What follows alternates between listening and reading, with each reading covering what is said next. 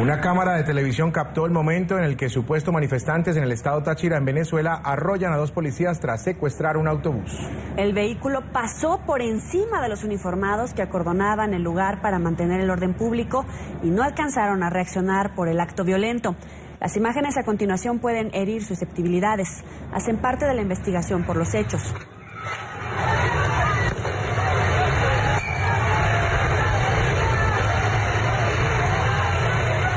Como una manifestación pacífica. Estudiantes chavistas y opositores protestaban por el alza en el precio del transporte público. Las manifestaciones en las calles de San Cristóbal derivaron en disturbios y en medio del caos murieron los dos policías.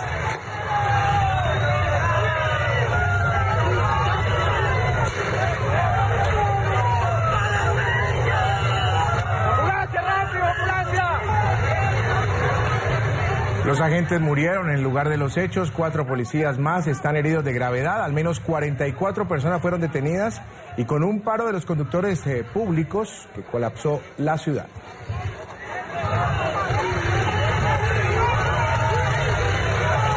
Inconformismo y violencia, una mezcla peligrosa en una Venezuela agobiada por la crisis. El Táchira vuelve a ser epicentro de una gran manifestación por el descontento social. En esta ocasión, estudiantes chavistas y opositores se unieron y salieron a las calles desde tempranas horas para condenar que a partir del primero de abril el pasaje les costará dos veces más. La protesta se salió de control cuando un grupo de encapuchados se robó varias unidades del transporte público del terminal de San Cristóbal y las retuvieron dentro del Instituto Universitario de Tecnología. Sin previo aviso, utilizaron un autobús para arremeter contra funcionarios de la Policía Nacional y del Táchira, que estaban apostados junto a los estudiantes en las cercanías del centro de estudio. Tras el impacto, dos policías perdieron la vida y cuatro quedaron en grave estado de salud. El director de Politáchira, Amador Torres, informó que las víctimas fueron identificadas como Armando Márquez, de 25 años de edad, perteneciente a la Policía Nacional Bolivariana, y Melisa Soler, de 20 años, adscrita a la Policía del Táchira. La unidad de transporte público fue dejada abandonada por los criminales dentro de la sede del IUT Los Andes. Usuarios de la red social Twitter publicaron varios videos de los disturbios. Al menos 44 personas están detenidas por estos hechos. Por su parte, el gobernador del estado Táchira, José Bielma Mora, se pronunció y lamentó la muerte de los funcionarios en su cuenta en Twitter. Adelantó que ya iniciaron las investigaciones para dar con los encapuchados. Ministerio Público asume la investigación para dar con los responsables de los trágicos hechos ocurridos por presuntos estudiantes del IUT. Lamentamos la pérdida de efectivos policiales quienes cumplían labores de vigilancia lejos del lugar donde se generaron hechos de protesta. Como medida de solidaridad y también manifestando su rechazo al robo de las unidades del transporte público, el Sindicato de Transportistas de Táchira anunció que el gremio realizará un paro indefinido, hecho que ocasionó un importante colapso en la movilidad de los ciudadanos de esta parte del occidente de Venezuela.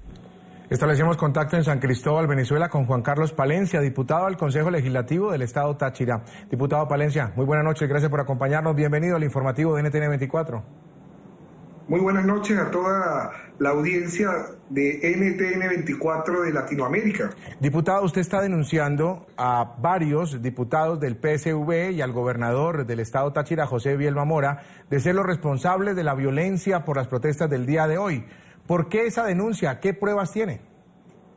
Ciertamente el bloque democrático del Consejo Legislativo hacemos responsable al gobernador Bielba Mora y a los diputados del PSUV porque desde hace días atrás ellos vienen planificando una protesta eh, en contra del transporte, en contra del sector transporte que se encuentra eh, con la mesa de la unidad democrática. Y así a su vez nosotros, eh, el Consejo Legislativo, vimos varios dirigentes del PSUV planificando este, esta protesta para este, el día de hoy. Pero vemos que enlutaron a, hogares de la familia de los tachirenses, familiares de la policía, porque observamos de que fallecieron estos policías arrollados producto de un secuestro de una unidad de una unidad que fueron secuestrados por dirigentes del PSUV. Para poner un poquito más en contexto, el IU Región Los Andes es una institución de educación superior que se encuentra que se encuentra en este momento intervenida por el gobierno. Los directivos son dirigentes activos del PSUV y también la dirigencia estudiantil es del PSV como tal. Ellos lo que querían era darle un escarmiento al sector transporte como tal, pero vemos que se le escapó de las manos y terminó en un trágico accidente.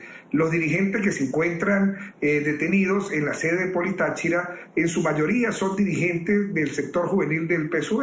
Es por ello que nosotros responsabilizamos a los diputados del PSUV y al gobernador Miguel Mamora por estos hechos vandálicos. que ha demostrado ante, ante el pueblo del Táchira, Venezuela y el mundo de que ellos son los que promueven la violencia? Eh, quisiera puntualizar entonces los dirigentes estudiantiles que ustedes vieron que ingresaron y que tuvieron estas reuniones con los eh, diputados, ¿serían también algunos de los que están detenidos en este momento y en todo caso se les habría salido de las manos la situación hasta causar la muerte de los policías?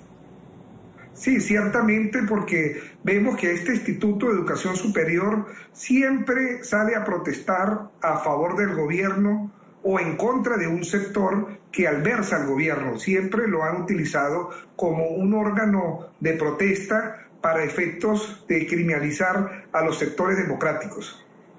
Insisto en el, en el tema de la responsabilidad. Los estudiantes, ya está claro, los que manejaban el bus ¿Quiénes eran? Ciertamente, ya los tienen plenamente identificados y hay claras vinculaciones con, con, el partido de gobierno del PSUV. Yo le quiero hacer un llamado al Ministerio Público y a los órganos de investigación criminalística como el CICPC y, a los, y, a y al órgano del, del Poder Judicial, tribunales de la República, que no engaveten esta esta investigación y que se llegue hasta sus últimas consecuencias y que se establezcan claramente los autores materiales e intelectuales, que, porque aquí están involucrados ciertamente actores del partido de gobierno que ocupan cargos en la administración pública.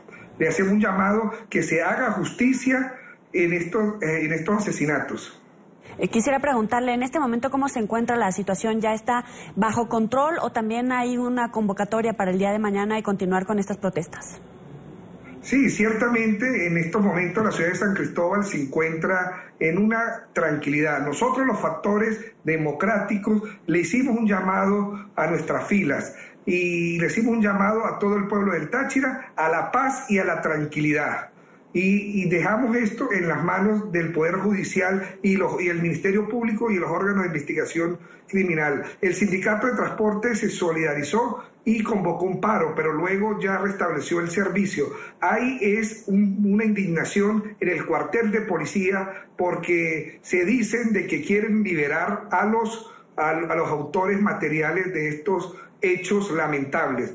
Entonces, ahí en, el cuartel de Politáchira nos llega la información de que eh, los, eh, sus compañeros de, trabajo de los funcionarios muertos se encuentran eh, reclamando de que no sean liberados y, ellos van a ser vigilantes de que se llegue la investigación hasta sus últimas consecuencias y que no se tape nada por, eh, por ser de alguna otra manera miembros del partido de gobierno o afectos al partido de gobierno.